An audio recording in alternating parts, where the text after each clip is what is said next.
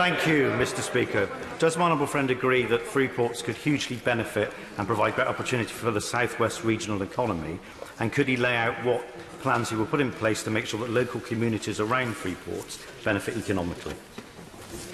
Well, I'm grateful to my honourable friend, and uh, no one works harder to promote uh, their area in this House than my honourable friend. And Freeports do offer this opportunity to uh, uh, uh, unleash enterprise. Uh, all the principles, all the wealth creation that the party opposite stands against, we want to set forth and allow his constituents and the communities that he represents to prosper and grow by setting free enterprise, and we're going to carry on doing it.